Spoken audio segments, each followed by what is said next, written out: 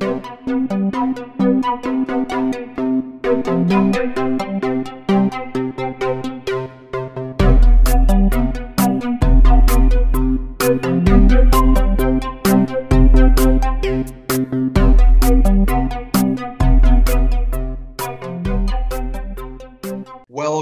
to episode 37. We have a fantastic lineup with us today. We've just found out we have a lot of similarities as well in various things, and you'll be discovering some of those in the coming hour. This episode will talk both about all the challenges that Puerto Rico has faced, some would say catastrophes in the area of earthquakes and aftershocks and floods and COVID and you know lack of electricity and access to the internet and schools having to be repaired curriculum being kind of top down instead of bottom up. And all the changes that they had to face in the midst of, of multiple pandemics. And in, in the midst of that some corruption along the way. Just add that in there you know. And so uh, we'll hear a bit about that, but we'll, we'll turn over to a, a, couple of teachers who are also graduate students right now, but a couple of teachers who will describe what they've been able to do to overcome all the challenges and all the obstacles that have been faced in Puerto Rico during the past couple of years, whether it's Hurricane Maria or COVID or something else. So my good friend, Edgar Leon, Dr. Edgar Leon, has his doctorate from the University from Michigan State University, where two of our co-hosts are. We're we're teachers at at one point in time, and so there's some similarities there as well. So Edgar has found his way back to the island, and has been involved in a couple different universities down there, Caribbean University being one, and has been able to try to make a difference in the world of education in various ways. So he'll be describing some of that. Uh, Edgar, would you like to maybe give a brief overview of your transition down to Puerto Rico and what's inspired you during the past few years in the midst of all the crises, in the midst of all the calamities, and then maybe show us a few slides so the audience can appreciate what you've been able to overcome that perhaps no other island, no other country has faced during this past few years. You have definitely faced some unique challenges. Sure, sure. Well, well thanks a lot for having us, and uh, welcome to everybody who's listening to the to the program. Uh, we have had some uh, very very interesting changes, very interesting events that are, uh, I could say, unique to the island. But I think uh, we have had s- teachers that are so terrific and so creative and uh, that did not rely on anything other than community uh, within themselves. I'm amazed. What brought me here? I've always, even though I was working in Michigan, I, every year I had to come to the island. I came to the island and uh, went right into the water, into the beach, and then went into the mountains. So it's like uh, that. Those are those were my vitamins for the rest of the year. So I usually came every year, and uh, and the, the last uh, in 19, let me see, uh, 2012, I received a uh, you know a piece of paper saying, well, there's there's this position in Puerto Rico, so I applied. Just you know, just so it was for the University of Puerto Rico to be at the uh, uh, to work, especially with technology, to, to to promote technology and to start with this type of thing of teaching online and all that. And believe it or not, they hired me in the spot. I just came for an interview and they said, "When when do we start?" I said, "What? This is crazy. I mean, I can't do this. I have to, you know." it's like, but again, uh, having it in, in in in in theory is one thing, and having it in practice is another, because you can have a, one person on boat, but the rest of the people, it was a scary thought to have to have the University of Puerto Rico with courses online. I mean, that means letting go of all the control and and uh, you know and letting go and, and changing all the laws and changing all the committees that had to approve this. And so it was more like a, I, I was like the strange fellow in a different town. Here comes this guy with all these new ideas and and, and uh, i'm going to lose control of everything. He's going to start teaching online and then i said well why are you teaching just from 8 to 5 i mean uh, at msu we started teaching more at 5 from 5 to 10 or 5 to 11 o'clock at night uh, even Saturdays or Sundays. Uh, uh, but people could not understand this, so I was, I was, you know, kind of struggling in that area. But I kept on training teachers like like like Carmen and, and Elizabeth. Teachers did understand. The new teachers did understand about this, and they also wondered why am I not getting courses on how to teach online or how to use and apply technology, because even the Department of Education saw technology as an add-on. Like okay here's the old curricula that you had and then just put a put a movie on and that will be the integration of technology. Or just uh, going to this website that's your integration of technology. So they, they didn't see it the way we saw it where, where you have the kids produce and do projects and and develop technology for themselves and to learn by teach them how to learn by themselves so that's you know uh, there are many factors but again, I, I can teach I can show you some of the slides because I want to talk about also I the. think so I think you should show us slides, a quick overview of, of them so Okay. the whole audience can understand it and we can have this recorded.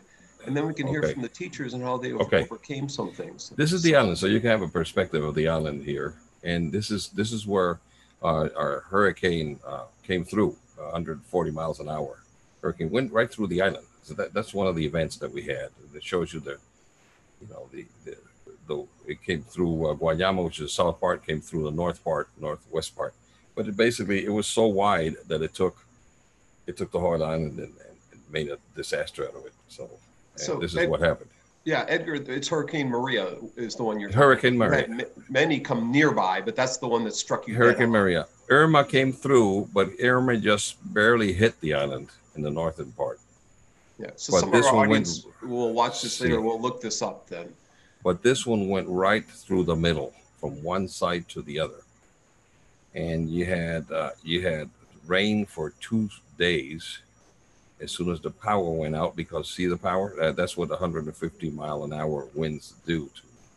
And they, it also had some um, some uh, tornadoes, small tornadoes that will just take out whatever. And not all the homes are cement homes.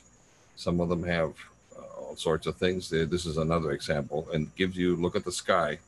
That's what you would see when when this thing came. Uh, water will take everything and just just move it like a big bulldozer. Uh, so that's that's the some of the. This is what it did to the schools. It went into the schools, went right in, and pushed everything out. So that's that gives you and then and then I'm giving you an example of what teachers quickly did. Uh, the next day or two days after, hey, we're gonna teach. We, let's let's get the kids together. Let's get the parents together, and let's do put things in tarps. Um, the National Guard moved quickly. Uh, thanks to them, we had some of the facilities and and uh, some coordination through that through the emergency system. This is another example of what the water did. No kid could go in there two reasons. One, it was a dangerous thing. Uh, You may have electrical poles going touching this water, you may have also some sorts of uh, dead people floating around, believe it or not. So you didn't want that either. So you would have to be at home totally. So these are shocks that you're getting to that. And these uh, this is an example of, of schools could not be open for everybody because some of them were used as uh, uh, places for the people to stay. Oh, that's basically it. You were at a school, you don't know, you lost your home, you go right to a school to sleep and get some some assistance, you know. And here's uh, the police giving water to people. Everybody pitched in. Everybody pitched in. Uh, we had another situation is that because of this emergency, we found out that we only get food uh, through San Juan, which is one side of the island. We don't get food or from any place else other than the United States. We are not allowed to have food or anything else from any other country. So that also puts some strain on it. This is another example. We're talking here the earthquake. After Maria, then came the earthquake, 5.9 uh, Richter scale earthquake. Uh, it, this gives you an idea of where it hit the most. But even though it hit down here in the southwest part, it it shook the whole island. And uh, since we have old buildings and we have Uh, the infrastructure is kind of old. It affected everything. Uh, believe it or not, uh, all the power systems are in the southern part of the island. They're in the south. So as soon as this hits, all the power was cut off from everybody. So that's basically uh, another impacting thing. And here's what it did to the schools. It basically just squashed uh, some of the classrooms. Uh, the design and the uh, how old they were uh, contributed to these these things, but uh, and they're still not open. This is another example of what happened to the schools, and this is just one example. Many schools right now, half of our schools, close to 500 of them, are closed. Uh, so that's that put a lot of strain into the system also what to do with the kids where they're going to teach in some of these places and don't have schools yet they're still waiting for the money we you know had had eight percent of the money from fema that that's about eight eight billion we were allocated about 70 some billion dollars for it but still not there nothing is moving yet and we still have these heroes teaching here you go where they uh, you have the kid, the teacher still doing. In some of the places, we still have this. Believe it or not, we still have this going on. So, my my, and uh, the kids, well, they have no other place to do uh, to go. Uh, parents don't have work.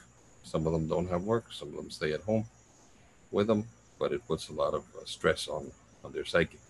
That's basically it. I, I think we could take to the teachers to, to see what uh, what they may say about Before this. we go to the teachers, you also had an issue of internet access and, and the use of mobile devices there. Uh, because I know my teachers, my students worked on a project for your teachers in Puerto Rico to teach them how to use mobile. But That is your, that is correct. That your is correct. government banned mobile before that. Could you just talk a little bit about the, the issues that you that, that that they faced across the country because of the technology policies? Maybe we can get that later, but briefly now. Well, since since we have since we have this, we don't we it took us by surprise, and everything is dislocated. So uh, they had no idea what they were dealing with, and uh, it's not organized. The way people were receiving internet access, schools had access didn't have access at all. School only had about 25 megs, and I wrote that in the book.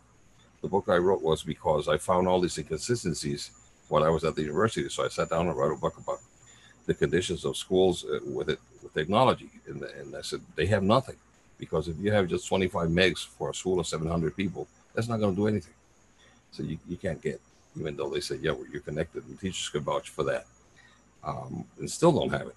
Uh, but again uh, as soon as you lose power you lose internet because the internet that we have in puerto rico is not with batteries. Uh, so you lose power one side it's gone.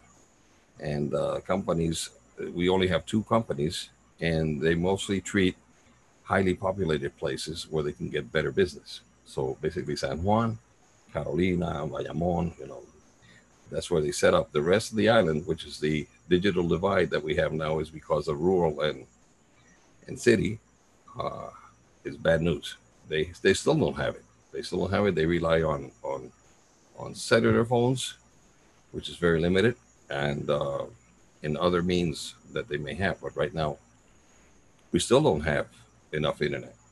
Um, the, the, the Department of Education uh, went to give them a little pamphlets. Uh, they sent it to Colombia to get printed. They're still waiting for them.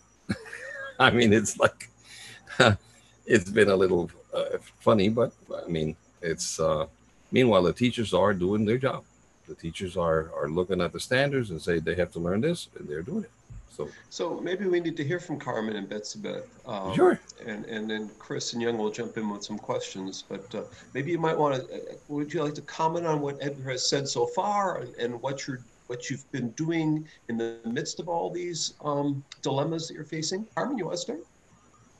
Okay. Um, well, um, since Maria, guess since our, since Maria. Okay, well, um, in my school we are we are in Ponce. Um, Dr. Leon is just show them where is Ponce. it's in the Uh, southern part of the island The south southern part of the part island of the island. that's in basically the- where it's in the map of the hurricane, the the name Ponce is in the south uh, right in the center of the south line of the island. And there the hurricane struck um, in many ways, but emotionally, it was very, very, very important for my students and for me because some of them um, struggle with the um, lack of internet and my students are addicted to internet and to the social media. So that was, that was very difficult to them to adapt to um, um, a way of living without internet. So uh, when they went to school, uh, they they verbalized the, um, that um, social um, lack of contact because they had to go out to the street and communicate with their neighbors because they, they were always inside of their home when they had internet before Maria. And that emotionally affected them. I, I'm, I'm very um, aware of that. So um, before Maria, the, the things were um, working like normal. We were doing our classes uh, very traditionally, but since that uh, hurricane struck our island, um, the outage of those resources and those um, tools to communicate were very, um, I told you, um, abrupt, um, a change, a very strong change. So they um, have to adapt since then. They have to adapt since then. You teach in the STEM areas, in yes. physics, and you teach robotics. Mm-hmm. Have you been able to teach robotics since, you know, and, and now during COVID times? I mean, how are you? Um, I have to make a standby um, in that in that aspect because for robotics, we have a, a, my classroom have a table, a big table, and so many uh, tools um, that's a mess in the classroom because we have always um, a student working there, um, uh, building something um, and programming also. And they have to be uh, there, they have to be together. And the COVID had affected that that aspect because we have to be in our home. And some parents have lost, uh, lost their jobs and sometimes some of them have uh, working hours reduced. So the um, uh, economically um, the economic impact in that way uh, have affected the um, robotics in my area. Uh, so I have I had um, to put it in standby for this time for this year. Mm -hmm and I'm um, concentrating in my physics class and meteorology class and um, astronomy class. So um, I'm looking for on online resources to help them to to deal with the the social distancing and I think we'll want to get to that in this. I, I want to get to Betsy Beth first, but I want I do want mm-hmm. we want to probe how, how, you're providing resources that are online and and what what that's been been able to overcome. But Betsy Beth, could you tell us a bit about what what you do, what you teach, and what you faced and how you've you know overcome part of it? Uh, go ahead. Well, uh, I am a Spanish teacher, Spanish secondary teacher for Maria, I was working in Jayuya, in my town, and it was a very hard experience. We never worked so hard. Um, I was not raised, you know, uh, cleaning in the mud and all that. And for Maria, all the teachers were working to put the school back together. We were the ones that worked cleaning the rooms, uh, getting the school ready for the students to come back. So it was a very hard, a very, very hard time. It just came to demonstrate that we were not ready. We were not actually ready. Then after that came the, happens the, the tremors and the 6.4 uh, earthquake, and I was working in Ponce. Um, that's uh, an hour from Jayuya. And that was very hard too. I have students that lost their homes and I haven't seen my students um, since last year. Since December last year, I haven't seen my students because of all that situation. The school is not ready to receive us back. The structure is not ready. And I believe no school in Ponce is ready to, to receive back the students. So we have been struggling online. Our first experience teaching online. We have been using Facebook, WhatsApp, uh, and many different applications since for uh, from January to May, we were using WhatsApp, Facebook, the cell phones, um, Edmodo, Moodle. So everyone was grabbing whatever they could manage to reach the students and, you know, just deal with the skills that they needed to, they needed to approve or learn to be ready, ready for the next year. They, they are actually not ready because it's not the same and we were not prepared. We were not prepared emotionally. We were not prepared um, professionally. I have I have some knowledge because I did my certificate of educating online, but that was me and many and maybe some other teachers, but it's not, you know, not everyone has the same preparation. So we were working together, we were communicating, what do you know, what can we use as, as teams to get to the kids to teach them whatever they needed and, and also to bring them some kind of uh, social connection, some, some kind of normal. And then we were hit, we were hit by COVID-19 and it's just been a disaster. I was just wondering, uh, all of you feel free to answer this question. Because now with the COVID, one of the big questions people are talking about um, is the loss of learning. You know, there's a loss of learning because children are not able to go to school. But you've been going through Maria, you've been going through earthquakes, so you've had a lot of disruptions. I want to actually look at um, both sides. One side is that there may be some loss of learning from the classroom because you're not having them. But at the same time, I think these tough times can also help children learn something, help teachers learn something. Can you comment on, on that, all of you, uh, Edgar, uh, Carmen, and uh, uh, Beth? Beth, we can start with you since you're here. Yes, uh, well, it has teachers to deal with things in a different way.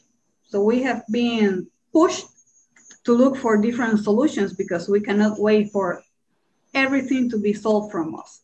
Actually, uh, uh, in that year, in Maria, 2017, my students wrote a book.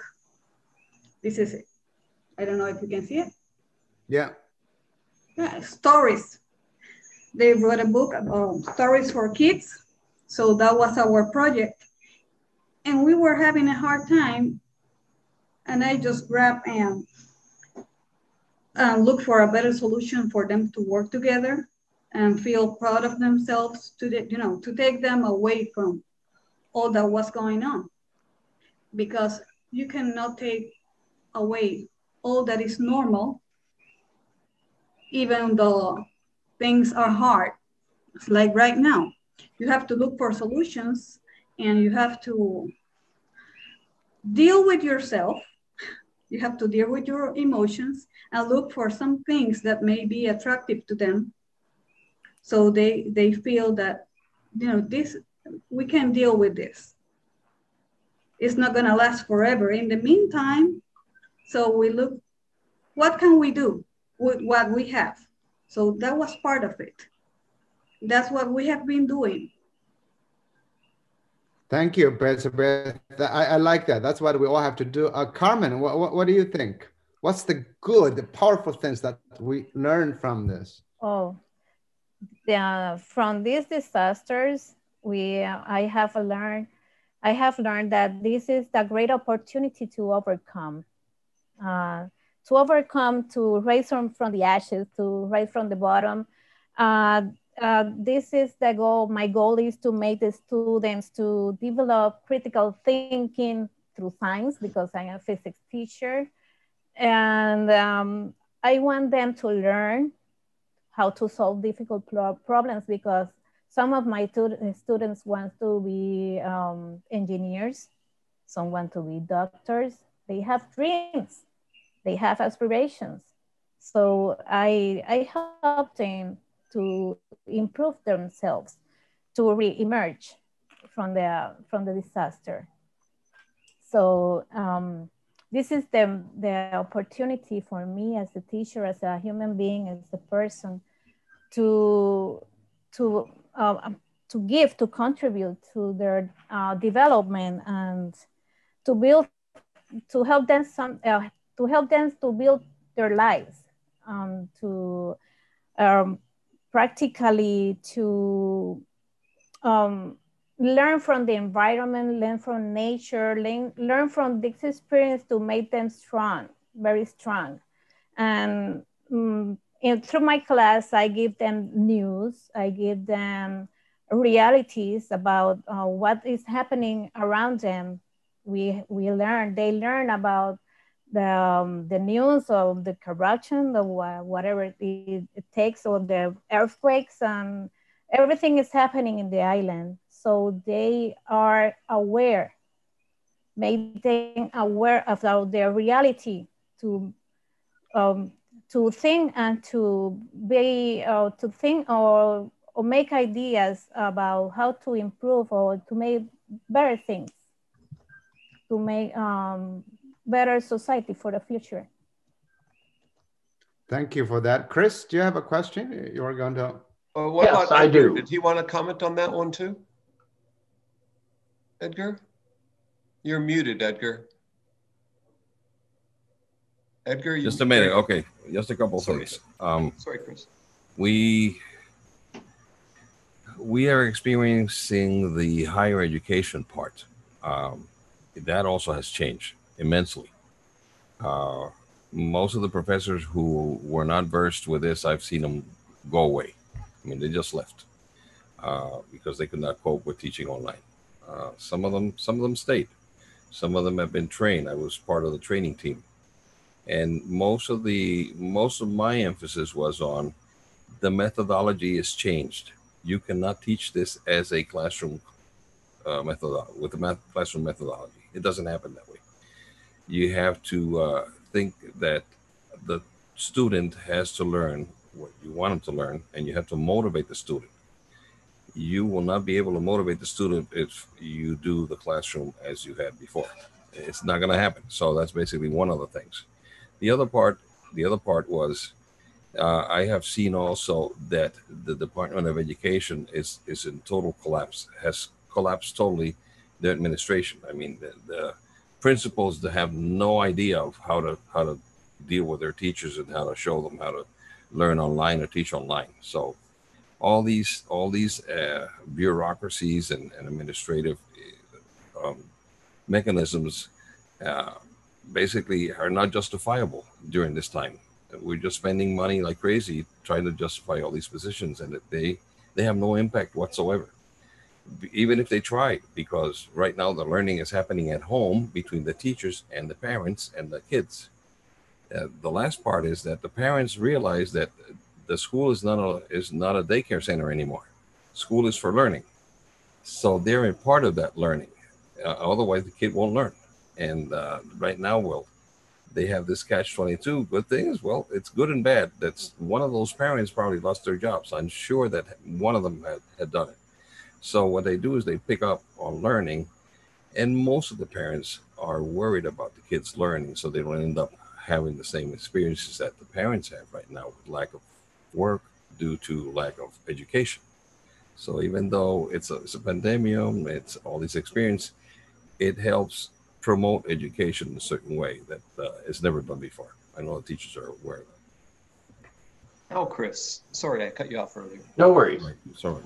So one of the things that that we really like about Silver Lining for Learning that keeps us going is seeing the patterns that emerge across different countries, commonalities that all of us have, no matter where we live. And one of those commonalities, because of the pandemic and other kinds of catastrophes, has been unexpected heroes.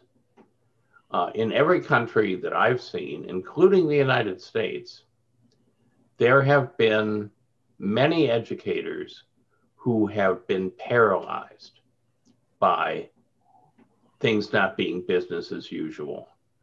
They they freeze and they say, I don't know what to do and I don't know how to do it. And so I'm not going to do anything until somebody tells me what to do and somebody tells me how to do it. And that's that's true for teachers, it's true for university faculty members, it's true for national leaders and state leaders. But there's a second group in every country that basically says our responsibility is to the kids. Mm-hmm. I don't know what to do. I don't know how to do it, but I'm going to start doing something anyway because our responsibility is to the students and the families. And and those are the unexpected heroes. The people that nobody thought were leaders have become leaders. And the leaders, often that people thought were actually leaders, have turned out to be hollow. So, as that happened in Puerto Rico, which arguably, as we've said, has faced more misfortune than any other country that we've had on this show, how did how did the individuals that said to themselves i'm going to make a difference. I'm not going to wait around for somebody to tell me what to do and how to do it. How did they organize? Did they did they just talk to each other? Did the universities play a role? Was was there any role that that happened top down or was it all bottom up? I'd love to hear the story of how the heroes emerged and started to do things. Mm-hmm. Well, I, I, can I can speak for the university. I, my phone got off the hook real quick. I mean, uh, I'm the guy in technology, so basically they start calling me. I mean, the dean called me around 11 o'clock at night. Uh, we need help. I mean, we have to do this. We we have to continue teaching. Uh, let's get together for some ideas. Let's start putting together something. We have a wonderful crew uh, of teachers right now, of university professors that are pro uh, teaching online and it's not just uh, how to use Teams, because most of the time, uh, some of the states, including Puerto Rico, the only thing they do in their training is how to turn on Teams, how to use it, and how to turn it off. It has nothing to do with how people learn or how to teach with Teams or how to integrate that into the learning environment. Uh, for that, you need a university course and an educator to do it who has done it before. Can't be done through theory because there are many there, one class doesn't fit all. I mean, in this case, especially. So uh, it, it, the, the teachers can tell you something very interesting. Also, class management they're having they're having a hard time with class management teaching online. And I don't know if we've touched that before, but they've experienced that. I'll let I'll let them explain that one to you. Me or bets. Okay, um, my experience is that, thank you.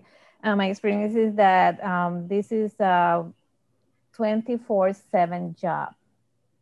I was telling Beth uh, before this uh, meeting that um, I had, for my student on, on August, when the classes began, I just um, told them their uh, chat on the WhatsApp, the, the rules from to use the WhatsApp chat.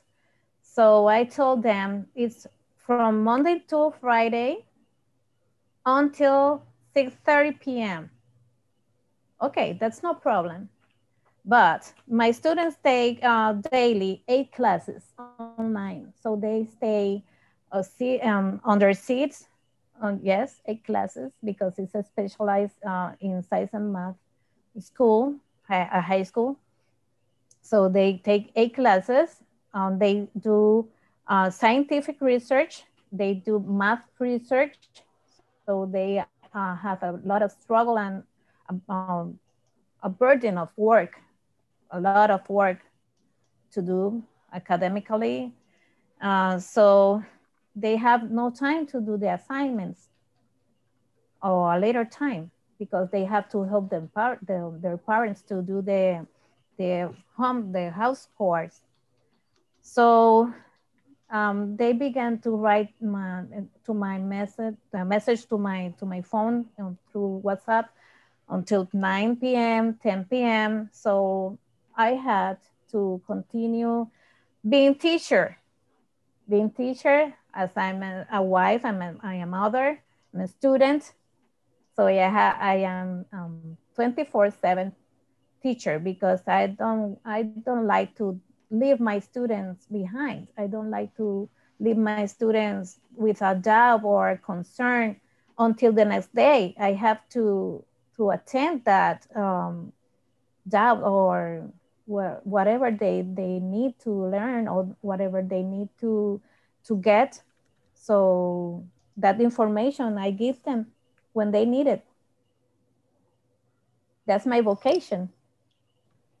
Betsy Beth, you want to address the question that Chris had and the other comments made after that? Yes. Um, where to start? Okay. We have lack of, we cannot rely on communication services. That's the first thing. We cannot rely on internet service. We cannot rely on the smartphones. We cannot assume that they all have a smartphone at home. Even though the Department of Education gave the students a laptop, I sincerely, I don't know if they all have their laptops by now. They don't. I, I doubt it, but they don't. They have there have been this movement, you know, to give every student a laptop, and there has been the alternate remedial modules that they printed out in Colombia. They just arrived in some places in Ponce. We have them now. We are going. We are going to to get to that now but the instructions, you know, they change every every time. So we have to deal with that too. And what can I say? We have to teach. There is a curriculum that we have to work with. We cannot work with that curriculum in the same way as if we were in the classroom because it's not the same situation. I cannot have a student in front of the computer for my class for one hour and 10 minutes because I see some groups Mondays and Wednesdays and some others Tuesdays and Thursdays. I teach seventh grade. It's inhumane to have a student one hour for my class in front of the computer, one hour for the other, one for the other one, without knowing if, if they have a they can rely on the internet. I have students that live in public residentials. They cannot have some services because they don't allow cables and all that. So they have to pay for satellite and that is expensive. And it's not the same service. So there are many factors that affects. And what, what do we do? We look at the curriculum as a specialist and we we see what it, what are the skills that they, they need to learn and we try to summarize that. And to work with integrating the skills in different activities so we can teach what they need to know in certain a certain way. But we know that by by the end of the year it's going to be a gap. There's going to be a learning gap that is going to be affecting them from now on every year. And it has been going on since Maria, they have a gap. So it's getting, it's getting, uh, what wider. is the word? Wider. wider. It's getting wider every time. And that is gonna repercute then when they go to, when they go to the university, what can we do?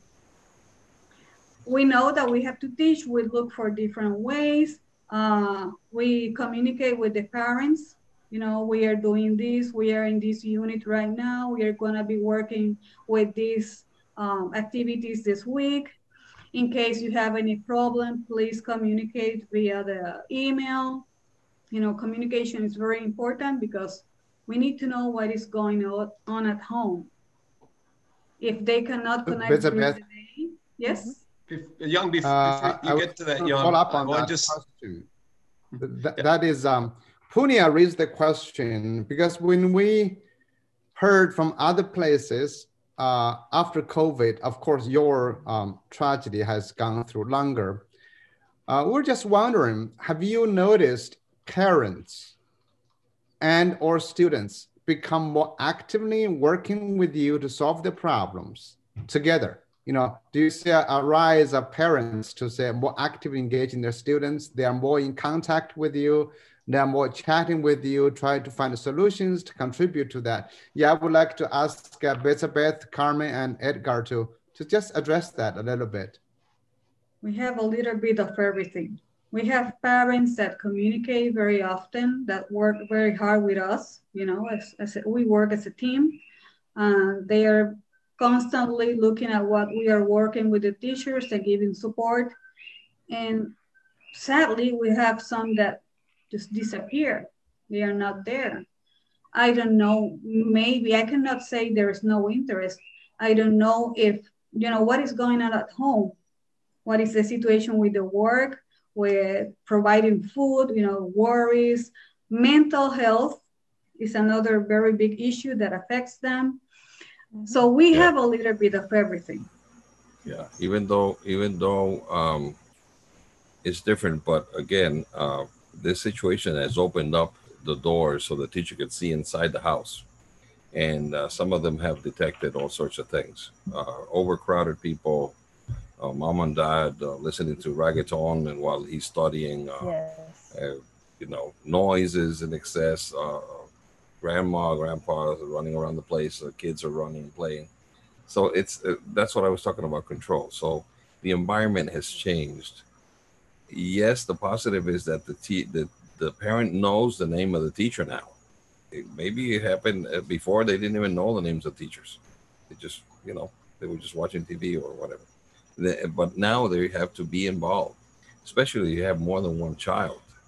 So you have more than one child and and you have only one computer or two three computers but still the internet goes goes away that way so just relying the teachers don't don't get any directives from from the department of ed that are clear they just say here are the tools and you you know do whatever you can and, and we're going to give you these books and and pray that uh, when they give them the state test which is idiotic i'm just going to say it out loud there's no way they're going to pass the state test. So why give it? I mean, uh, or pay for it. Uh, my my recommendations for them, even in an article that I wrote, uh, is that cut that off and just duplicate the amount of teachers that you have, and don't mm-hmm. spend any money on any administration whatsoever. I mean, and any of these things that cannot justify the help of the kids because they're two three years behind, like our teachers are, are saying right now. Uh, I don't say fire them. I say, well, find out, like we did in Michigan, uh, is that ask the question who can teach and who has teaching degrees here. So let's go to schools. Let's find these kids and start teaching and just switch them. You get paid the same. But the medicine is given to the sickness. You just you just can't just let them let them and find out. Okay, let give me a computer and let give them a pamphlet and find out if by chance something's going to happen. Herman, you want to add to uh, Punya's que- uh, answer to Punya's question? which was uh, family involvement. The family, the family involvement, I, I believe it's increased. It's increased because they're forced to increase it because they can't. One, the governor doesn't allow you to get out of your house. First of all, you know we're in lockdown. That's for starters. Secondly, is that they want us those who have kids that are certain certain um, certain age, certain grades, like uh, like elementary, they're more involved, so they don't want the kids to flunk so they help them out and they, they they're there assisting all the time but uh, once from fifth grade up I, that's where i think things are kind of shaky right now. Car- carmen you want to add briefly to that? We got a, we got 15 yes, minutes uh, left and we have uh, several more questions but yeah go ahead. Yes i want to add that in my in my way i help my students to self-regulate learning. So they are responsible about what they have to do to learn to get out from where they are to be better. So I I help them to transform and to become owners owners of their own learning, so they they can be more responsible to to uh, get that learning to be more prepared for the university because my students are from are, are from 12th grade. They are seniors. And they have um, um, yes their, their parents are very involved but, but they are leaders they they self-regulate themselves in this case in my in my case Thank you. I just want to add, Carmen, I, am very happy to hear that USC students, because of this, have to become more self-regulated. They just have to do more on their own. That, that's yes. great. Thank oh, you yeah. so much. Yes, I, I, I, I record to them um, tutorials because um, some of um, the um, physics problems are very uh, long or difficult, and I record for them uh, tutorials and record many, many things for for them so they can get to the um, class later.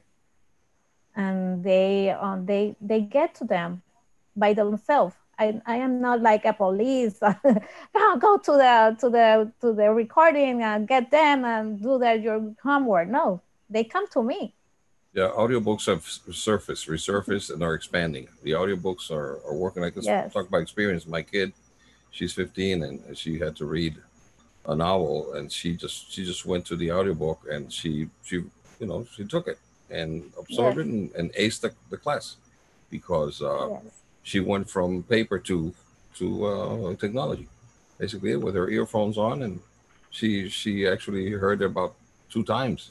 She said she's never going to sit down and read it two times. So with this, she was moving and walking around and doing exercise while she was listening to her. You just have to give them those options. Sometimes we forget them. Well, I, I think we're going to talk, I want to get to this at the end on what this poses to the future. But first, I want to say that Chris's earlier question about heroes, part group number two, we have three of those heroes with us right here. Edgar, Thank you. Carmen, and Betsy Beth. Thank so, you. Um, you know, all of you should be applauded for what you've been able to do. I'm sure there's hundreds more back in Puerto Rico uh, that we could be uh, talking to right now. But thank you for for coming into the show today, um, the three of you, because you definitely are heroes in in in, uh, in across this, the entire globe. What what you've been able to do um, is phenomenal. So, uh, and Chris has a follow up question.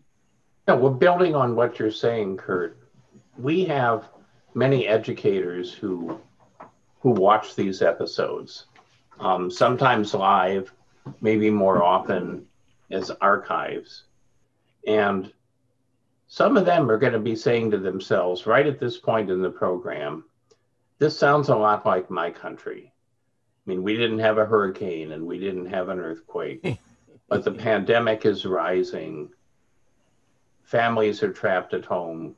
There's not enough technology. The country's leadership is paralyzed. And and they're looking to you as a lighthouse of hope. What advice do you have for teachers in other countries that teachers and professors and, and other educators that might be helpful to them as as they struggle with with what you struggle with? I would say take charge. I would say take charge immediately. We did that uh, when we had uh, when we had Maria, the Hurricane Maria. When it came in, I had no no power. What I did was I took out the battery of my car, hooked it up to my radio, and started calling people like crazy. And I finally connected with somebody in San Juan, uh, who was uh, one of the directors of the power company, who was also a radio person. And uh, I said, "Hey, my voice is totally in the dark, so please relay the message that we're gonna need help down here." And then I immediately start calling people at the United States. And I talked to everybody around I could. I was probably two hours talking. Ended up being the communications center for Mayagüez here at home because everybody was lining up to talk to their families because they couldn't. There was no phone. So you have to take charge. Don't wait for anybody. Don't wait for anybody. Uh, don't wait for any committee to meet. Don't wait for anybody to uh, put you through all this regulation, that regulation. Just start acting because the kids, the time is passing and this is precious moments that kids need to learn now they just can't wait for anything. So that's what. Well, what are your strengths? And you're a ham radio operator. you're unique, and you're the only one whose ham radio worked on your part of the island, if I'm not mistaken. Isn't that yes, right? That's correct. So you were the only you were the only tool that was available. So you know, and that might be the case in other countries where you might be the, the, the your skill might be the exact skill that's needed. Take charge. Well, we had Um, we had we had AM radio stations. All of them went, went down except the one from Mayagüez because he was the only one who had a power connected, the real power. Because people were making tests, and they were making tests with electricity. They were not making tests with the power, with you know with external power. So basically, and, and this was the only one on. I think it was WAPA, WAPA Radio, and and uh, Wale or something like that. It was just two stations. But that was it. I mean, we had nothing else and uh, they can testify to that that there was no no no communication whatsoever. Carmen or Beth, you want to address Chris's question? Beth, you first. Well, my, my advice is to work with other teachers. We cannot make it harder to the students, so we have to work together. Right now, I am working in a project with my with the English teacher. So they don't know what they are doing, but the same I did here, we are gonna do. We are going to work in a bilingual book and we are going to, you know, get them to write and and get out whatever they are feeling right now. So we are going to manage that emotional part, working with the skills in English and Spanish. But we are gonna produce something to make them proud and, you know, uh, make them believe that they can do anything and they they have to work with whatever they have. So that is my best advice. Work in teams with other teachers? What can they do together to make it less work and still work in the skills that they need to, to develop?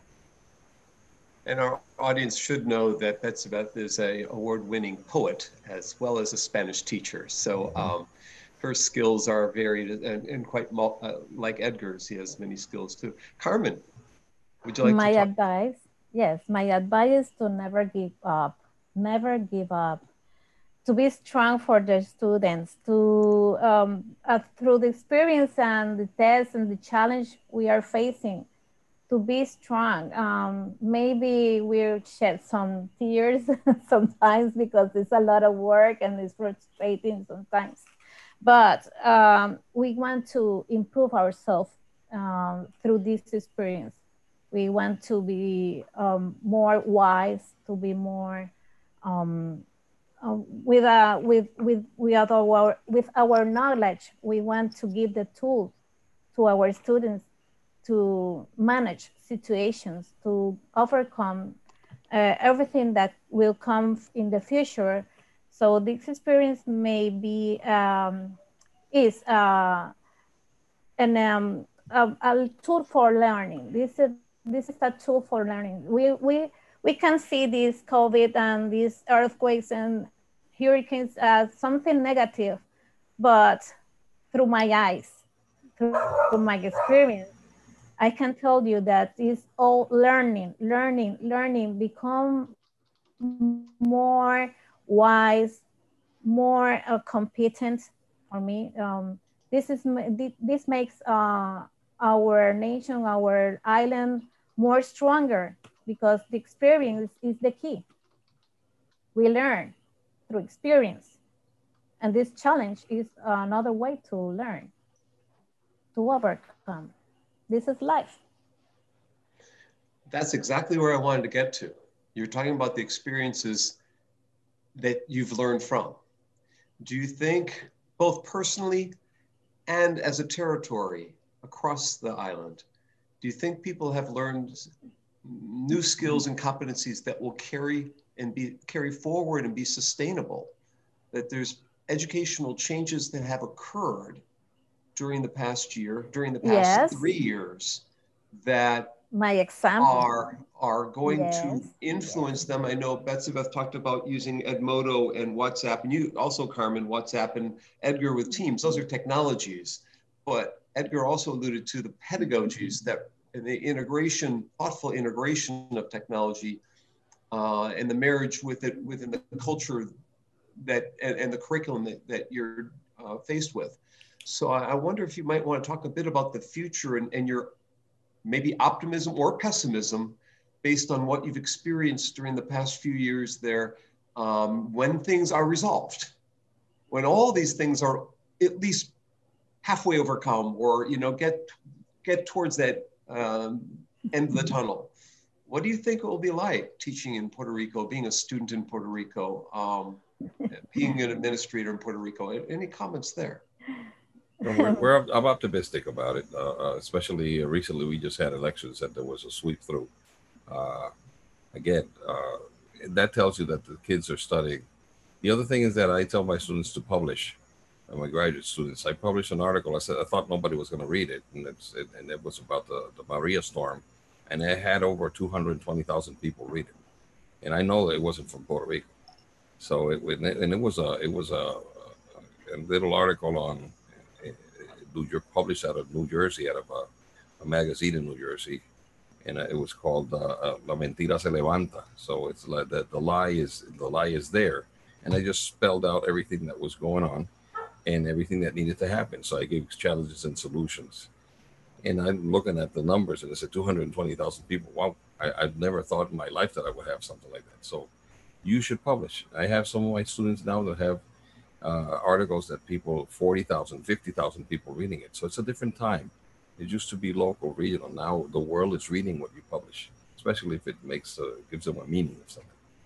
That is amazing. And I know you're also translating or taking part of my TEC-VARIETY book and turning it into Spanish. Um, and I'm assuming it's some of that's been used. Um, well, yeah, we did we did translations of the uh, of the Larry Lazat uh, uh schools material. So it's uh, in the state of Michigan also. We did the, the state test in Spanish. We were an advocate for people who were flunking the test, not because we, they didn't know the test, because they didn't know the language of the test. So we had a plenty of migrants. As soon as I translated the home, uh, the migrants are doing a lot better than the locals. So they, when they were doing it, so basically that's that's my experience. Write, let if you're a graduate student, if you're if you're going to be a PhD or master's degree, write get yourself heard with your ideas. It, it happens. It, it, moves. Very good, Carmen. Beth, you want to talk about the future? Well, um, about the future, I think that this is um, uh, the the way the, the experience we are, we are having now is the way that we are going to work in the future because this is um, an open door that we are not going to shut down. We are not going to, to close. Um, maybe we are going to combine um, hybrid classes sometime, maybe. But um, this is an open door that is not going to be closed. We are going to use more the uh, technology, the internet. Um, I, I hope that this, um, this um, way of learning and teaching through internet will, will um, make a better um, a, better web, um, a better um, structure for to to make better the internet. Just to so more um, more um, investment in the infrastructure of the of the island to get more be, more and better uh, internet. That's the the future I see that we are going to be to have a more robust internet and because it, this this came to stay that's Beth. yes people are waiting for things to go back to normal they're not going back to normal this is our normal now so what we need to do is uh, review the curriculum review the way we are teaching uh, we need to make changes we need to adapt parents need to understand that it's all change. They cannot rely on the teacher to be all the time there because look what happened. They were too comfortable. And students, they need to, to learn how to work for their future, not depending on, on other ones. So there has to be a very big change in, in the way we are teaching and we have to modify the curriculum. We have to go in the university. There has to be changes. You know, they cannot teach, uh, prepare the teachers for an education that is not there. It's not the same anymore. So there have to be changes. I was sharing your article in the uh, YouTube stream there. So um, everyone can have a chance to read it and you'll have additional it's in uh, Spanish. I, I, have to translate it in English, but again, that's the other strange thing. You have 500, 500 million people who speak Spanish and growing. So we, we have to think about doing publishing also and getting ideas from those. And you and I have been talking about that for years, uh, and we'll someday succeed at getting some of this. Uh, and you have been more successful than I have, I must say, uh, in getting things in Spanish. Of course, you know the language slightly better than me too. Um, my two years of Spanish have left me um, a long time ago. I, I do want to thank uh, the people that came in with Edgar so much. So it was so great to have Carmen with us and Betsy Beth with us, and uh, and you, Edgar. Uh, and, and, and Edgar has tried a pilot show like Silver Lining for Learning for the Caribbean, for Latin America. And uh, so he's been experimenting with many things. He's constantly uh, tinkering and thinking and contacting people for ideas and advice. And great to have you come in and share what you have done so far and what you're attempting to do towards the future. And next week, we're going to have another exciting show. Uh, we'll have people who are going to talk to us about um, courses that have been global, courses that gone that went from local to global in the area of environmental uh, management and cleanup.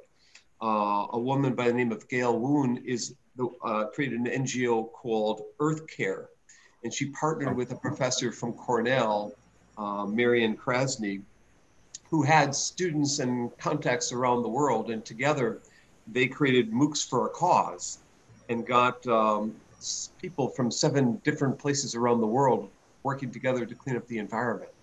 And nice.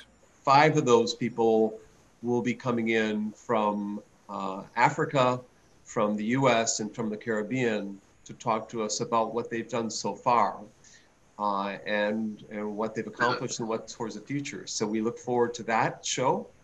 And uh, we have a show after that with another uh, environmental scientist coming in from the University of Colorado. So a couple weeks in a row, we'll be talking about the envir environmental issues. And that second show, she'll talk a bit about Antarctica, in fact. So I, I wow. people a little bit. So again, we want to thank and we want to say uh, it's been a wonderful show. Thank you.